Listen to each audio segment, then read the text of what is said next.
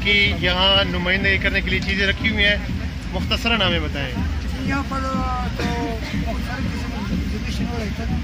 तो ये जो कल्चर यहाँ हुआ बहुत अच्छा एग्जीबिशन हो रहा है इसमें मेरे पास मौका तो तो है क्योंकि एग्जीबिशन पुराना ग्राम है भी है।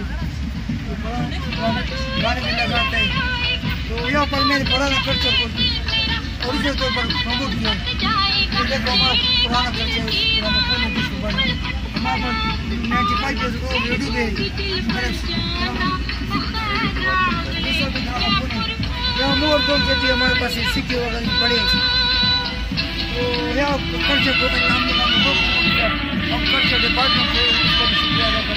लोगों का क्या रिस्पांस है? लोग खुश हो रहे हैं, देख रहे हैं चीज़ों में इंटरेस्ट दे रहे हैं।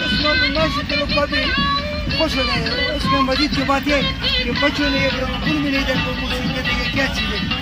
उसके में जो बड़े पुराने लोग आते हैं बुढ़े तो समझ वो ये तो बड़ा हमारे ज़माने का रेडियो हमारे ज़माने का ग्राम तो लोग बड़ा खुश होते हैं और लोग इंटरेस्ट लेते हैं ऐसा प्रोग्राम होना चाहिए बार बार सही साहब ही सब शुक्रिया